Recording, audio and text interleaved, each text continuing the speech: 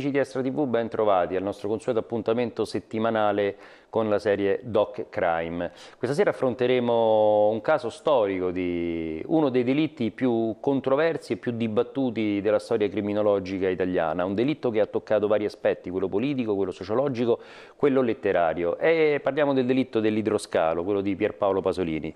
Con noi l'autore e il regista Paolo Cochi. Buonasera. Cosa accadde nell'ultima notte di Pasolini, che poi non è altro che il titolo del documentario?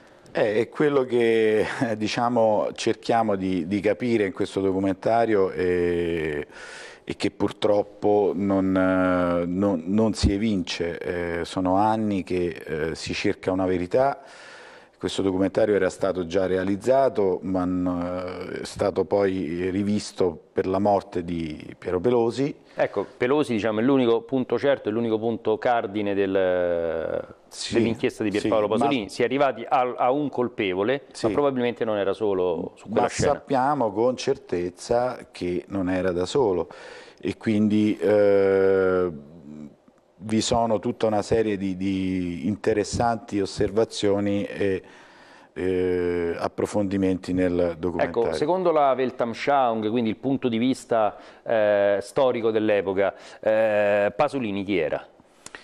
Pasolini era un intellettuale, era un poeta eh, che negli ultimi anni, e questo si evidenzia molto nel documentario, eh, era rimasto da solo, mm, quindi eh, anche eh, quelli che solitamente politicamente gli erano vicini lo avevano abbandonato. E forse questo ha creato intorno a sé un clima che eh, ha permesso a chi compì quell'omicidio di farlo e farlo ecco, eh, anche in, in questo, anche in questo delitto eh, non sono mancati complottisti, c'è chi vi ha avvicinato alla figura di Carminati, ad una foto, c'è chi ha parlato di eh, furti, di, eh, atteniamoci a quelli che sono i fatti e atteniamoci a quella che è l'inchiesta che Paolo Cochi ripercorre nel suo documentario. Buona visione, ci vediamo dopo con il dibattito degli ospiti.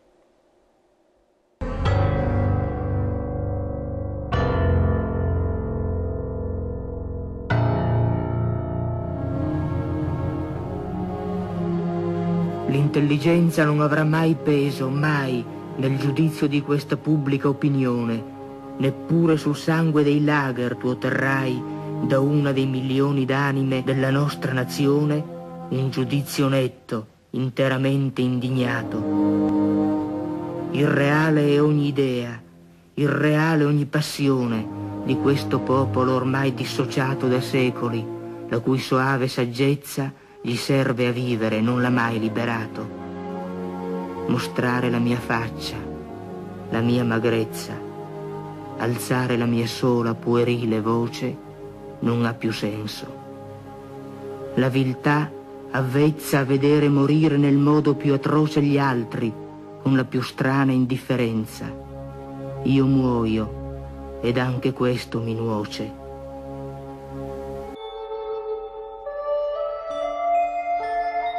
Anche l'ultima richiesta della Procura di Roma sulla morte di Pierpaolo Pasolini, ucciso all'idroscalo di Ostia il 2 novembre 1975, è stata archiviata. Secondo la Procura non è stato possibile dare un'identità a quei cinque profili genetici riconducibili ad altrettanti soggetti probabilmente presenti sulla scena del crimine, oltre a Pino Pelosi, l'unico condannato per il delitto. Il corpo martoriato di Pierpaolo Pasolini fu trovato da una donna di Borgata alle 6.30 del mattino di domenica 2 novembre 1975 in uno squallido spiazzo dell'idroscalo di Ostia. I due si appartano nello spiazzo fangoso dell'idroscalo, poi la colluttazione. Pasolini resiste, cerca di sfuggire alla furia dei suoi assassini, quando stramazza a terra, colpito con ripetuta violenza con un grosso pezzo di legno, è ancora vivo. Ma Pelosi si infila nella potente alfa e nel buio passa più volte sul corpo dello scrittore, sfigurando e uccidendo. Pelosi viene arrestato poco dopo.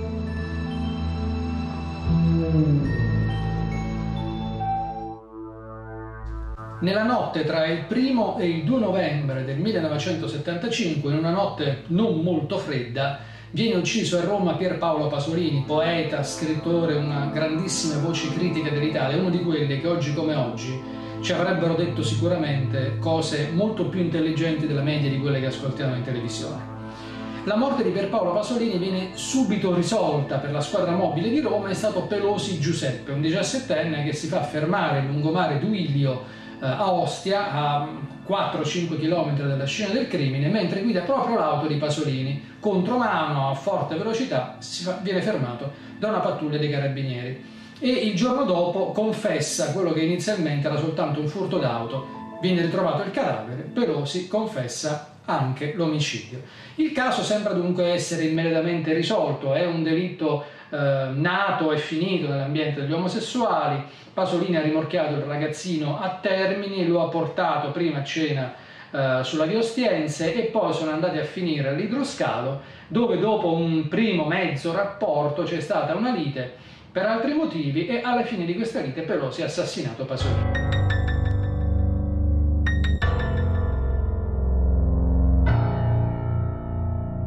Nel 1975, cioè il 2 novembre del 1975, io facevo la seconda media.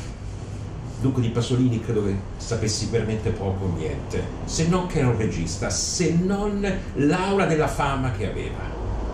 Ma non più di questo, era un ragazzo di seconda media e, e dunque non avevo questa capacità di attualità. Ero in seminario, cioè un seminario di frati minori cappuccini, con educazione fortemente religiosa il 2 novembre eravamo eh, pochi seminaristi, perché? Perché essendoci il ponte e la festa, molti erano andati, quelli che abitavano vicino, dai propri genitori, nelle proprie case. Io avevo invece i miei genitori lontanissimi e 6-7 di noi rimanemmo lì. Stavamo apparecchiando per l'ora di pranzo, considerando che il pranzo iniziava anche sempre con una preghiera, io avevo una grande stima eh, di quelli che erano i miei superiori, che erano questi straordinari frati e mentre sto apparecchiando accendiamo la televisione per il telegiornale per il nostro direttore e al telegiornale annunciano la morte di Pasolini.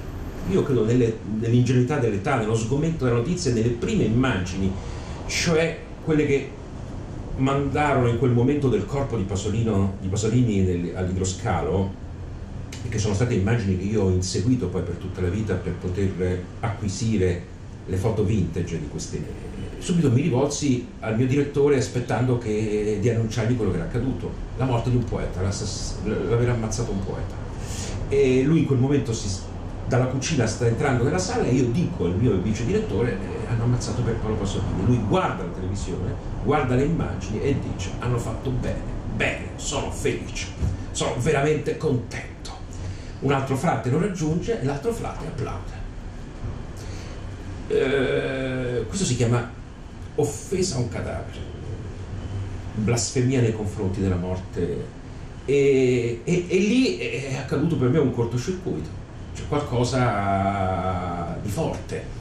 E, ah, soprattutto ho capito un elemento, un odio incredibile nei confronti di quel poeta, e cioè che faceva parte proprio, l'ho capito poi negli anni, dell'humus della terra italiana.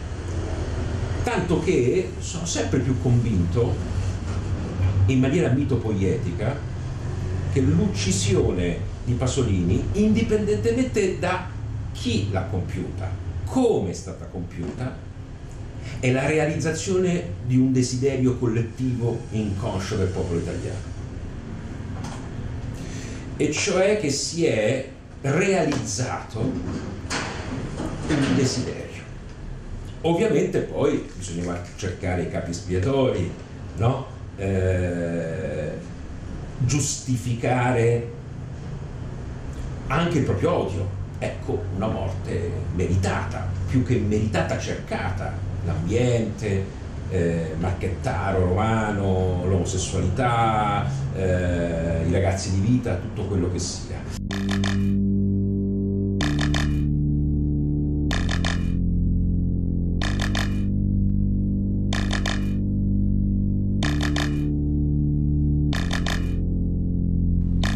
Già il 7 novembre, una settimana dopo, sull'Europeo cominciano ad uscire degli articoli firmati da Oriana Fallaci e da altri colleghi dell'Europeo, i quali raccontano una storia diversa. Si parla di due motociclisti che avrebbero inseguito l'auto di Pasolini già da Termini e che avrebbero poi fatto l'aggressione nel piazzale brullo e, e, e buio, totalmente buio dell'idroscalo, si parla di un pestaggio eh, nato per caso, nato probabilmente, però poi precisano meglio, per un tentativo di furto, gli volevamo solare il portafogli. Ecco, mm, a questo punto la questura si rende conto che il caso è decisamente più grosso e che non può essere archiviato in due parole. Cominciano le retate nella zona di termini, le perquisizioni, i controlli, si cerca di identificare chi abitasse nelle altre baracche dell'idroscalo, seconde case in cui in quella notte forse dormiva qualcuno, forse no non si viene a capo di niente, alla fine rimarrà l'ipotesi Pelosi, anche se l'europeo continua a insistere sul fatto che c'erano più persone, che la cosa era stata organizzata, che, mh, che, Pelosi non era solo quella notte, che probabilmente non è stato nemmeno lui, eccetera. Nel 76 tocca al processo, cioè al Tribunale dei minori, fare quello che non ha fatto l'inchiesta prima, cercare di capirci qualche cosa. E il verdetto di quella corte è molto interessante, omicidio in concorso con ignoti, quindi ignoti. E qui il colpo di scena, la Procura Generale che dovrebbe indagare perché il Tribunale gli ha detto guardate che ci sono degli ignoti, la Procura Generale, cioè quella che guida tutti i pubblici ministeri eh, di Roma, dice no, perché indagare? Noi non siamo d'accordo, cioè fanno il contrario di quello che dovrebbero fare per diritto e si battono, appellano la sentenza, sì, ma proprio per dire cancelliamo gli ignoti, questo 24 ore dopo. È una cosa eh, veramente allucinante e inspiegabile.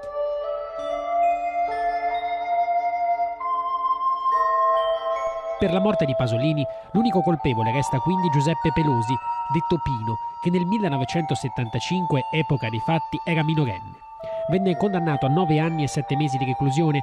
Di recente ha rilanciato più volte l'ipotesi secondo cui la sera del delitto non fosse solo in quello spiazzo all'estrema periferia della capitale, poco lontano da un campo sportivo e alle spalle delle capanne dei pescatori dell'idroscalo di Ostia. La vera novità rispetto al passato è quella di aver riconosciuto la presenza di altri soggetti, oltre a Pelosi, sulla scena del crimine, grazie agli accertamenti scientifici che hanno identificato cinque profili genetici sconosciuti, ha affermato l'avvocato Stefano Maccioni, difensore di Guido Mazzon, cugino di Pasolini e unica persona offesa presente nel procedimento. A parere di Maccioni, però, si è persa l'occasione per indagare sul vero movente di questo omicidio e per tale motivo chiediamo l'istituzione di una commissione parlamentare di inchiesta. Tra i maggiori intellettuali italiani degli anni 70, il poeta è amato e odiato per la radicalità dei suoi giudizi e per le sue aspre critiche alle abitudini borghesi, ma anche al movimento sessantottino. Alberto Moravia lo ricorda in una solenne orazione funebre. Pasolini fa discutere anche al di fuori della letteratura e del cinema. Famosa è la sua invettiva contro la falsa rivoluzione e i borghesi conformisti, con la quale si schiera all'indomani degli scontri di Valle Giulia contro il movimento studentesco.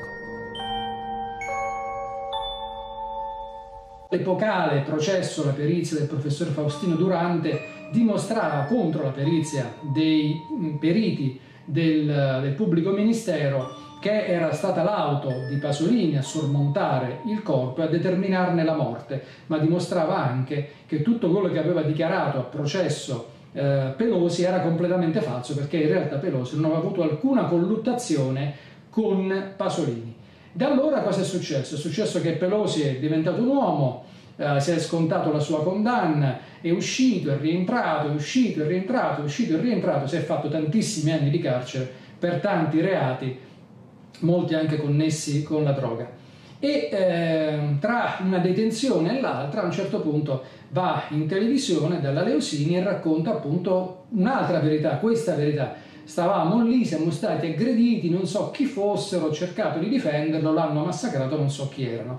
Da allora le interviste di Giuseppe Pelosi sono state 648.033 periodico, in cui ha detto un sacco di cose diverse, si è contraddetto 3.000 volte, ha continuato a mentire su molti particolari, a mischiare verità e menzogne. È morto a Roma Pino Pelosi, l'uomo condannato in via definitiva per l'assassinio di Pierpaolo Pasolini, ucciso nella notte tra il 1 e il 2 novembre del 1975 a Ostia. Con Pelosi, morto a 59 anni per un tumore, se ne va l'ultima possibilità di conoscere la verità sulla morte dell'intellettuale friulano. La verità giudiziaria consegnata nel 79 alla storia del paese vuole che quella notte di novembre Pelosi, 17 anni, in complicità con ignoti, abbia assassinato lo scrittore, passandogli addosso a bordo di un Alfa GT dopo un incontro a sfondo sessuale sul litorale di Ostia. Pelosi, detto la rana, disse di aver fatto tutto da solo. Ma restano tante le contraddizioni e i vuoti della sua versione. Prima tra tutte quella della presenza di altre persone quella notte, presenza confermata dall'analisi del DNA seguita alla riapertura dell'inchiesta. Molti cambi di versione di Pelosi affidati a deposizioni ufficiali o a libri sulla vicenda. Nel 1975 dichiarò ad esempio di essere stato assalito da Pasolini e di averlo colpito per autodifesa, lasciandolo poi a terra sulla spiaggia e fuggendo a bordo dell'Alfa Romeo dello scrittore. Cresciuto sulla via Tiburtina, tra gang di quartiere e frequentazioni pericolose, Pelosi entrò e uscì dal carcere numerose volte, per reati minori. Con la morte di Pelosi se ne va anche l'ultima possibilità di, sapere, di avere una verità completa. Sì, sostanzialmente Pelosi era l'unico che avrebbe potuto ricostruire la verità di quello che era successo quella notte del 2 novembre 1975 all'Idolo Scalo. Ecco, che tipo era Pelosi? Ma Pelosi era, beh, da ragazzino era un ragazzino di borgata, deviato, con tendenze criminali, piccolo criminale, furti, cose del genere. E poi devo dire ha continuato anche da grande, perché è stato in carcere, entrato e uscito diverse volte. Eh, sostanzialmente era uno che aveva paura, di, di, aveva paura di dire la verità, perché probabilmente copriva persone che lo intimidivano. Avrebbe però potuto farlo quando i suoi genitori erano morti ed erano passati circa quasi 30 anni dal delitto. Non lo ha fatto perché non lo ha fatto perché cercava sempre pubblicità. Eh, non dimentichiamo che in una intervista che fece alla RAI eh, tra virgolette sconvolgente, ma in realtà disse delle cose che si sapevano, disse che aveva commesso l'omicidio con i Borsellino, i Borsellino i Borsellino erano morti e quindi era una, una pseudo verità. E beh, in quell'intervista si dice che fu pagato molto, quindi già quell'intervista che passò per un'intervista eh, straordinaria perde di valore quando si sa che poi l'ha fatto soltanto per denaro. E poi non disse niente di nuovo peraltro. Quindi quell'80% di verità a cui si riferiva lui è verosimile che, che è stata detta l'80%, no, men, molto meno. Molto meno. Sì, la metà, il 50%. Vogliamo lavorare, non vogliamo rubare. Promesse vane. Se il comune non sblocca i fondi, questi rimarranno a secco alla cooperativa. E come rimangono a secco, la banca non gli dà più niente.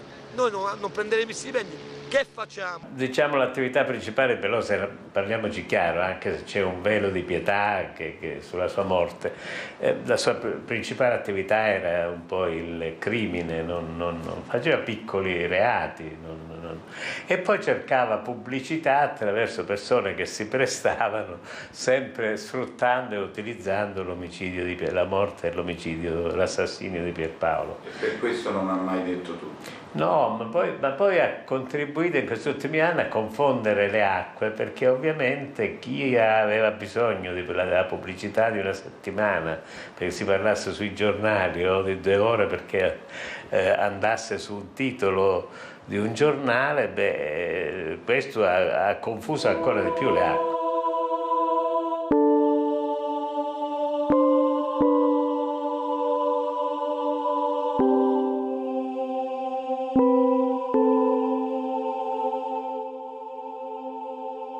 Chi era Piero Pelosi? Uno che ha fatto da esca? Sicuramente, beh, quando io mi occupai immediatamente delle indagini, vidi il corpo di Pierpaolo che era maciullato, vidi Pelosi a, di, a distanza di qualche ora e Pelosi era tranquillo, era fermato con i vestiti che aveva eh, sì, completamente puliti, quindi non, eh, non, era accreditabile la versione di una lite furibonda. Non, E quindi da lì si capì che Perosi era inattendibile. Quella sentenza di condanna la Procura di Roma fece appello per il concorso con ignoti. Eh sì, questa è la cartina di Tornasole che spiega perché la Procura Generale di Roma, perché era stato avvocato il processo, la Procura Generale di Roma non aveva eh, non solo la volontà di accertare la verità, ma aveva la netta volontà di non sapere chi erano, i, chi erano gli esecutori perché dagli esecutori si sarebbe potuto arrivare ai mandanti.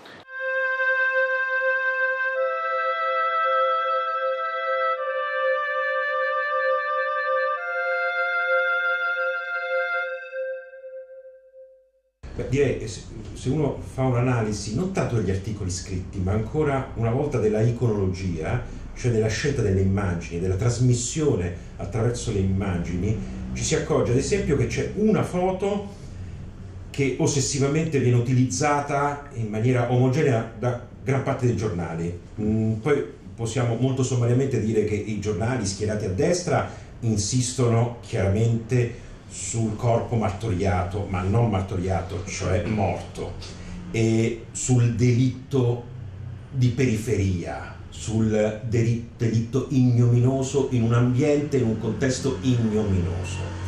Mentre invece quelli di sinistra eh, addirittura già compiono un desiderio straordinario, cioè vanno a recuperare immagini addirittura sorridenti e straordinariamente vive di Pasolini in realtà nella consapevolezza che Pasolini è vivo, è vivo nelle parole e nell'ammirazione che questi hanno, hanno avuto e continuano ad avere nei confronti del, del poeta. E dicevo, una delle immagini direi ricorrenti è quella del corpo di Pasolini in mezzo a questa eh, radura polverosa, eh, ricoperto da un lenzuolo insanguinato e la gente che lo sta guardando. In realtà nella lettura che noi oggi ne possiamo fare, leggendo le immagini come inconscio collettivo della macchina fotografica, è queste persone che guardano sono gli stessi, tra virgolette, fautori di quel delitto, cioè di quel desiderio eh, di delitto. Direi che l'atmosfera delle foto scattate intorno al corpo di Pasolini è un'atmosfera che continua quell'elemento di offesa nei confronti del corpo sorrisi, sorrisette, battutine. Eh, direi, mi dispiace usare questa espressione, gli sta bene, la morte semplicemente di un frocio. E... Ehm, allora si usava molto dire di un maiale, e... lo sgozzamento in realtà di, di un maiale. E credo che se noi sfogliassimo tutte le prime pagine dei giornali, nella impaginazione, negli ingrandimenti è molto chiara subito eh, questa posizione. Eh, cos'è interessante dei giornali del 3 novembre, del 4 novembre? Il fatto che in quel momento noi abbiamo eh,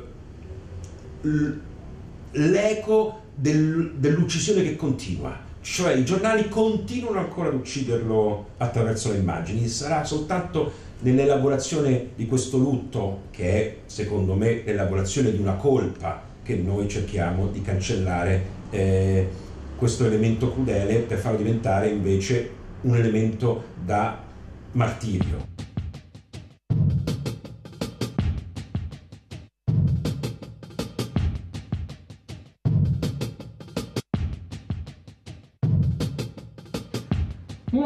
Problemi con i quali ci si è scontrati nel corso di questi lunghissimi 40 anni della morte di Pierpaolo Pasolini, oltre 40 anni, è stato capire quale fosse il movente. In realtà nel, nel corso di questi decenni si sono accavallati molti moventi possibili.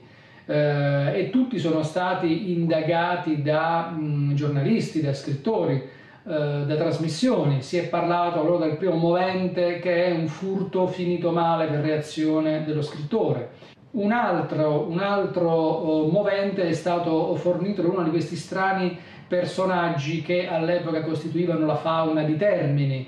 Eh, Libero Malusà parlò di ehm, una vendetta da parte di eh, papponi del, della prostituzione omosessuale di Termini che avevano voluto massacrare Pasolini, che faceva troppe domande eh, ed è anche verosimile comunque diciamo per quello che era Pasolini che lui andasse in giro a fare molte domande, era uno che faceva domande su tutto e pericolosamente, poi non ci sono elementi però per affermare che si fosse arrivati fino a questo punto. Oppure si è parlato dell'appunto 21 e di petrolio, un appunto che sarebbe sparito, una delle parti dell'ultimo libro mh, eh, che è uscito postumo di Pasolini, un, un capitolo forse scomodo ma che in realtà non ha letto nessuno, e proprio a causa di quello che Pasolini avrebbe voluto scriverci sarebbe stato attratto in una trappola e quindi massacrato.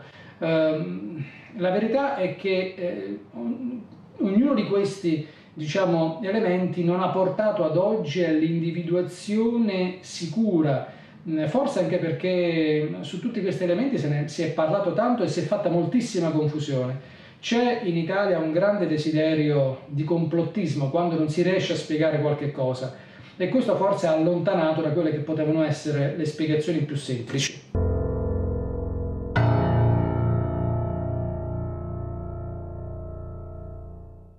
Alcune pizze del film Salò vengono rubate insieme ad a pizze di altri film negli stabilimenti della Technicolor.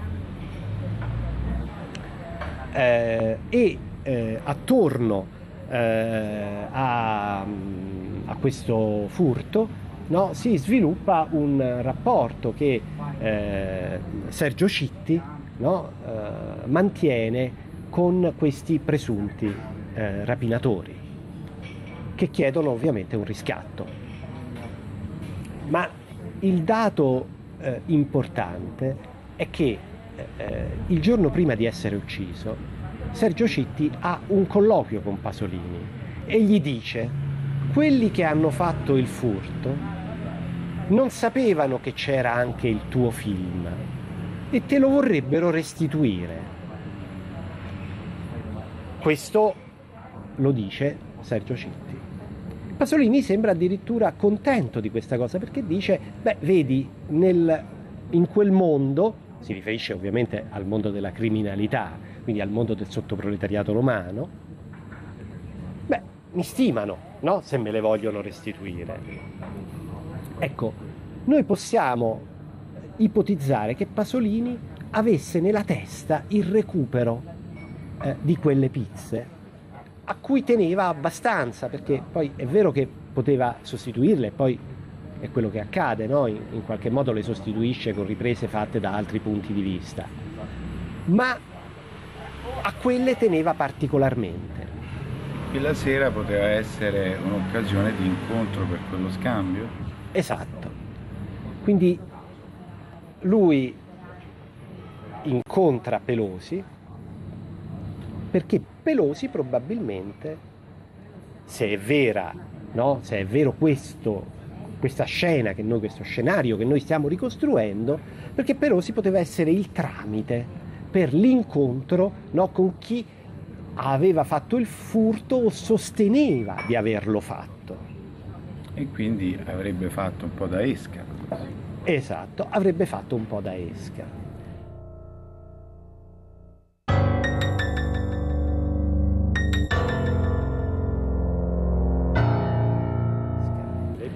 Ecco che eh, se è vero questo scenario, no, noi eh, dobbiamo fare una riflessione sul luogo dove è stato ucciso.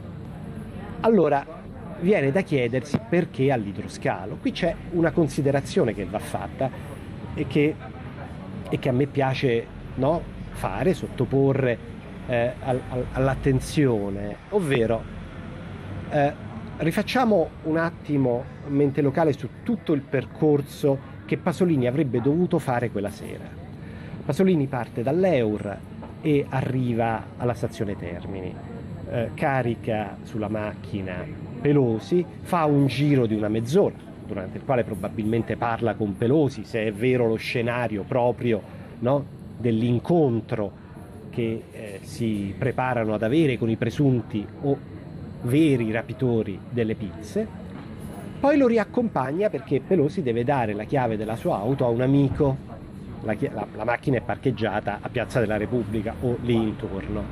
Dopodiché si va al Biondo Tevere, quindi si cambia nuovamente eh, quartiere, al ristorante. Mm, Pelosi eh, mangia, Pasolini continua a parlare con lui, dopodiché imboccano l'Ostiense e qui c'è già un elemento eh, eh, strano perché sarebbe stato più facile prendere appunto la Cristoforo Colombo. Comunque imboccano l'Ostiense e eh, se Pasolini non fosse morto avrebbe poi dovuto eh, riaccompagnare eh, il Pelosi a Sette Ville di Guedogna e dopodiché sarebbe dovuto tornare all'Eur a via Eufrate dove abitava. Per fare tutto questo percorso in un giorno, in una notte no? eh, di novembre, una notte fra, che fra l'altro quella era, una, era stata una notte, è stata una notte fredda, eh, in ogni caso per fare tutto questo percorso ci, so, ci sarebbero volute due ore e mezza, due ore e quaranta. Allora adesso la domanda sorge spontanea. No? Per consumare un rapporto di 5 minuti, no? 2 ore e 40 di viaggi, di spostamenti.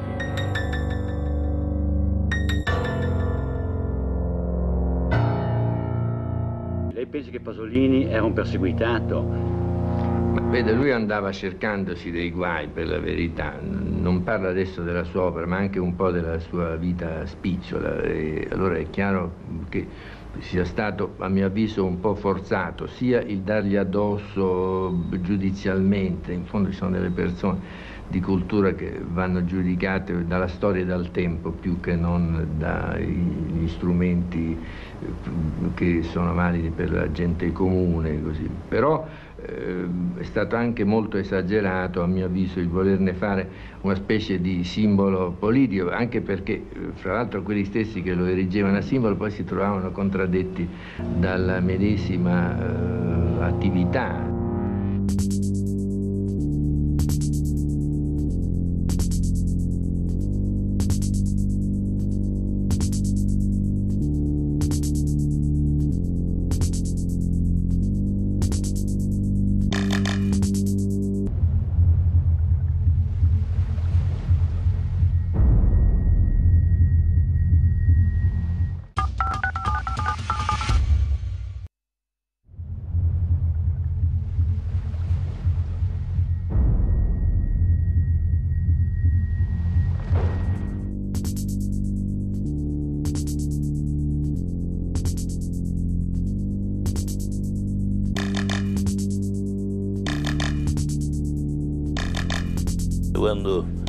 Siamo alla fine Pasolini era ormai vezzeggiato da tutti, vezzeggiato sia dagli uomini eh, del cinema, sia dagli uomini della letteratura e sia dalla cultura italiana, per cui i suoi articoli si leggevano sul Corriere della Sera ed erano sempre articoli di grande rilievo, fino a che eh, già eh, molto tempo prima di quello che poi fu l'omicidio di Aldo Moro, lui voleva processare la democrazia cristiana e la voleva processare veramente, sul serio e sulla base di accuse eh, precise che gli muoveva, eh, muoveva a chi in quel momento aveva abusato della democrazia per eh, portare l'Italia in una situazione che veramente era una situazione eh, che avrebbe portato poi al fallimento di un'intera cultura. Allora io penso questo, che eh, il fascismo, il regime fascista, non è stato altro in, in, conclusione che un gruppo di criminali al potere e questo gruppo di criminali al potere non ha potuto in realtà fare niente, non è riuscito a incidere, nemmeno a scalfire lontanamente la realtà dell'Italia. Ora invece succede il contrario, il regime è un regime democratico, eccetera, eccetera.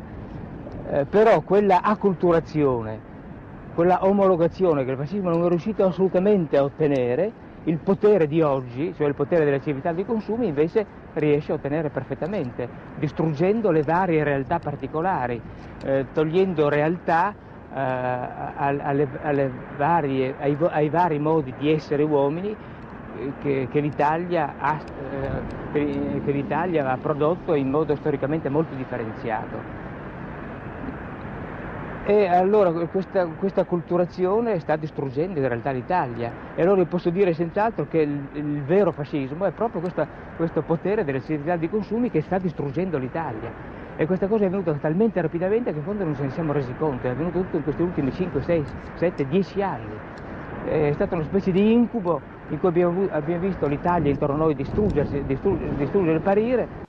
L'idea da del dittatore che ti vuole far fuori è quella che la tua mente non funzioni più. Quindi qualcuno sapeva che per non far funzionare una mente bisogna uccidere, non basta tenere una persona anche in galera, anche nella peggiore delle galere. Bisogna uccidere.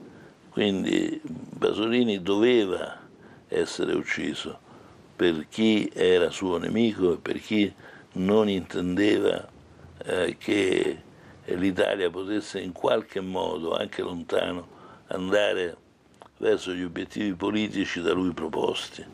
Quindi c'era una movente molto forte, non potevano che esserci delle minacce e il comportamento di Pasolini era un comportamento che lo esponeva naturalmente a queste cose.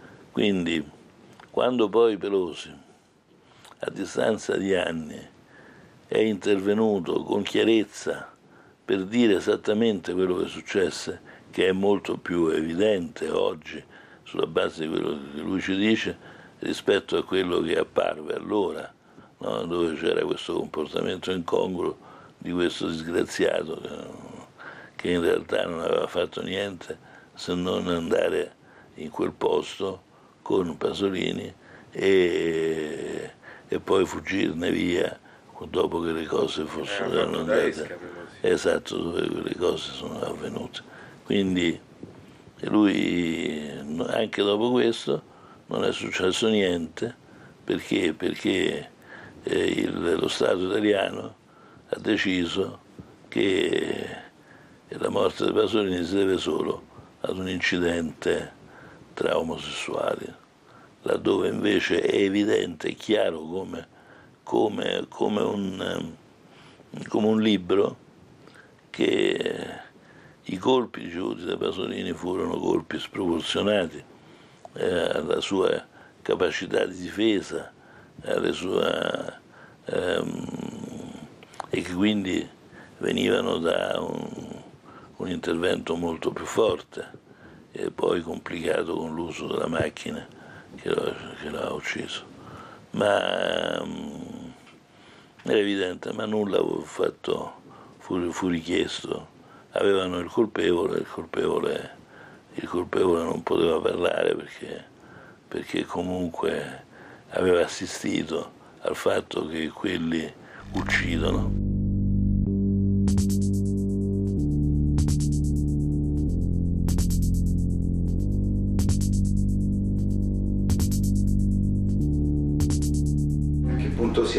Adesso con il caso Pasolini? Ma devo dire che il caso venne riaperto ufficialmente nel maggio del 2010 e nello stesso mese vennero incaricati i RIS di Roma affinché esaminassero quei reperti custoditi presso il Museo Criminologico di Roma, reperti che riguardavano il, ovviamente l'assassinio di Pierpaolo Pasolini, quindi gli indumenti eh, di Giuseppe Pelosi vi erano contenuti in questi enormi scatoloni, gli indumenti di Pierpaolo Pasolini e anche le presunte armi utilizzate, oltre a vari effetti personali sempre riguardanti il regista poeta. Su questi eh, indumenti, su questi reperti vennero effettuati gli esami scientifici da parte del RIS che hanno portato a delle conclusioni molto importanti perché hanno cambiato eh, la storia dell'omicidio eh, di Pierpaolo Pasolini. Adesso possiamo dire che sulla scena del delitto eh, vi fossero, fossero, presenti più persone. Eh, vi sono delle tracce molto significative ed in particolare quella messa in evidenza dalla dottoressa Marina Baldi, è la traccia che si riferisce a Ignoto 3 ritrovata sulla maglia a carne eh, di, di, Pino Pelosi eh, che portava quella notte e sarebbe una macchia frammista, quindi sangue di Pasolini e sangue di questo ignoto 3. Quindi potremmo dire, possiamo dire eh, sicuramente che quella macchia eh, appartiene e vi è un DNA che appartiene a una terza persona diversa da Pino Pelosi e Pierpaolo Pasolini. Oltre a questo ovviamente sono stati esaminati anche eh, gli altri reperti e ci sono due in particolare molto importanti eh, dove si sono rinvenuti ignoto, tracce di ignoto 1 e ignoto eh, 2, ovvero sia eh, riguarda il plantare trovato nella macchina nell'Alfa GT di Pasolini, un plantare che appartiene quindi a una persona sconosciuta e che la cugina Chiarcossi già nel corso del primo processo sosteneva di non averlo visto la mattina in cui lavò la macchina, l'autovettura del, del cugino, e su quel plantare vi sono ovviamente delle tracce di mh, sudore eh, che appartengono a una persona sconosciuta e a questa persona potremmo fare, dovremmo accertare a chi appartiene anche quel plantare. In più, sui jeans di Pierpaolo Pasolini, all'interno dei jeans vi è una traccia ematica quindi che lascia pensare presumibilmente che, che, appartenga a un'ulteriore persona, quella traccia ematica, che evidentemente si sia ferita nel, nelle vicende eh, legate all'aggressione e quindi all'azione omicidiaria. Sappiamo se da questa traccia ematica è stato estratto un DNA e se è un DNA completo? Sì, è stato estratto un DNA, un DNA completo e noi abbiamo ben tre tracce quindi. Abbiamo quella relativa ai jeans interni, utilizzabile, quella relativa alla maglia eh, di lana di Pino Pelosi e quella relativa al plantare. Ora, la nostra richiesta come difesa della persona offesa è stata quella di chiedere nuovamente alla Procura della Repubblica di Roma, personalmente al dottor Pignatone e al sostituto procuratore della Repubblica, dottor Francesco Minici, che aveva riaperto indagine nel 2010, di approfondire queste tracce. Eh, non dico che si debba fare un numero di tracce, di, di accertamenti pari a quelli di Carlasco, mm, migliaia e migliaia, ma perlomeno qualche centinaia di DNA in relazione a quella che era la malavita romana dell'epoca, penso che eh, un omicidio del genere lo richiederebbe. Lo richiederebbe perché una volta accertato il, eh, coloro i quali effettuarono materialmente l'omicidio potremmo iniziare a parlare veramente anche di movente e potremmo risalire veramente la china, altrimenti rischiamo di fare dei discorsi del tutto nel vuoto.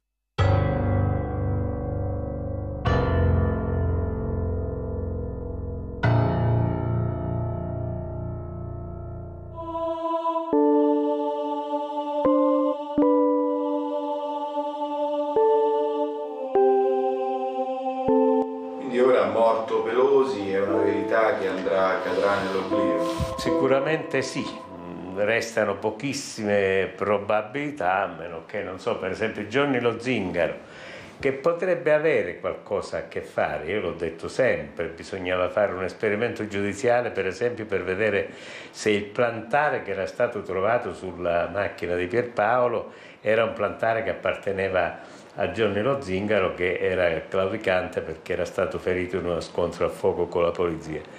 E questo non, non, è stato fatto, non credo che Giorni Lo Zingaro, se è implicato, parlerà e racconterà qualcosa di importante. Il movente dell'omicidio Pasolini, sappiamo che erano più persone sì. e che Pelosi non vi ha partecipato attivamente, questo si può dire, no? Bah, Pelosi, no, non siamo certi neppure di questo, perché Pelosi per esempio passò, guidava la macchina e la macchina passò sul corpo di Pasolini che non era nella direzione dell'uscita. Eh, Pelosi fece una deviazione, secondo quello che dice Pelosi, eh. guidava lui, fece una deviazione e sorpassò il corpo di Pierpaolo Pasolini. Quindi voglio dire, Pelosi certamente è implicato in prima persona, certo. nell'omicidio parlo eh, non si può parlare della morte di eh, Pasolini senza tenere presente questo clima di odio che c'era intorno a lui, un clima che lui avvertiva, avvertiva chiaramente e tutto questo lo turbava. Io francamente la penso come Paolo Mieli, nel senso che non credo a questa seconda ipotesi, all'ipotesi del complotto. Io credo che eh, Pasolini sia stato ucciso eh, dalle persone che lui aveva sempre amato, ovvero da piccoli criminali sottoproletari, e sia stato ucciso perché in realtà venne, la mia ipotesi è che fu ucciso senza una ragione precisa, perché si poteva uccidere. perché intorno a lui si era creato un vuoto. Il suo diventare più critico, più feroce no? nei confronti della politica, nei confronti della società italiana, lo aveva isolato ancora di più. Anche quelli che forse gli erano più vicini dal punto di vista ideologico, in qualche modo lo avevano abbandonato. Ecco, c'era un clima per il quale Pasolini era stato isolato e quindi poteva essere ucciso.